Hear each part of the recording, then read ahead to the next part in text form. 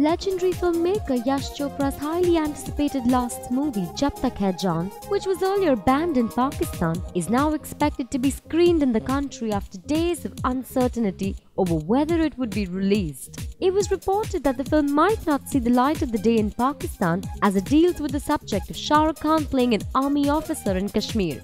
It was feared that the movie might again portray Pakistan in a negative manner. Apart from being Yash Chopra's final project, Jab Tak Hai Jaan is the only Shah Rukh Khan film to come up this year and his first film with Katrina Kaif, which makes celebrities and audiences alike excited about its release. Chopra's last film production, Ek Tha Tiger, was banned in Pakistan due to its depiction of Pakistan intelligence agencies. Katrina Kaif played a Pakistani spy in the film. So with the film Jab Tak Jaan all set for release in Pakistan as well, we hope the film does good business in the country.